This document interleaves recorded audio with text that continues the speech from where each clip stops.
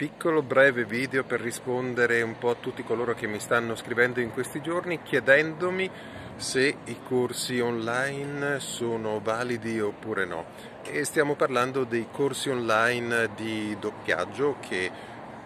ultimamente sono piuttosto sponsorizzati. Ovviamente quello che ti posso dire è che se sono i miei, sì, sono validi ovviamente, però io sono stato il primo a creare dei corsi online che sono um, accessibili sul sito, rimarranno te, a te per sempre e che puoi rivedere infinite volte. Questo lo puoi fare attraverso il mio sito www.rivettivalter.com, ma ci sono due tipi di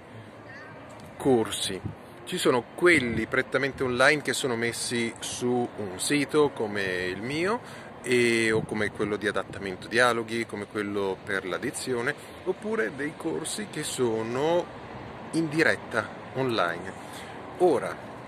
non ti so dire se siano buoni oppure no, perché così come per le scuole non mi esprimo, ma ti ho dato sia sul sito che qua sul canale YouTube un po' di informazioni per riconoscere un corso buono da uno meno buono, ma la cosa che ti dico in maniera davvero spassionata è fateli due conti, ma fateli davvero due conti, perché alle volte mi chiedete se un corso è valido oppure no. Io non, non, so e alle volte non voglio rispondere perché non voglio fare questi eh, favoritismi oppure segare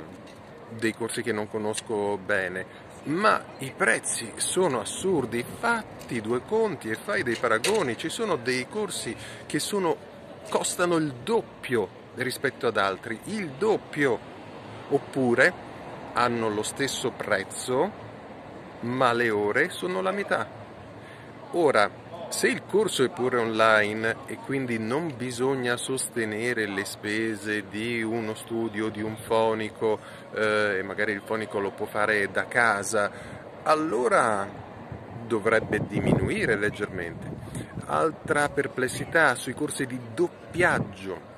proprio online, quindi in diretta con una persona che ti segue, è una cosa che ho sperimentato io stesso, è la difficoltà della sincronizzazione tra audio e video. L'audio arriva prima, il video dopo, quindi anche con la miglior connessione c'è sempre mezzo secondo di ritardo. E il doppiaggio che si basa sul sync non è sicuramente eh, favorito può andare bene per le letture, può andare bene per eh, l'interpretazione, può andare bene per la documentaristica, tanto vabbè, mezzo secondo di ritardo non importa. Però sui corsi online eh, mi esprimo solo sui miei, ovviamente, corso di edizione, corso di adattamento dialoghi, sulla, sul mind setting del doppiaggio e sugli altri non chiedetemi più di tanto, ma vi prego valutate i costi, ve lo dice Fra Walter.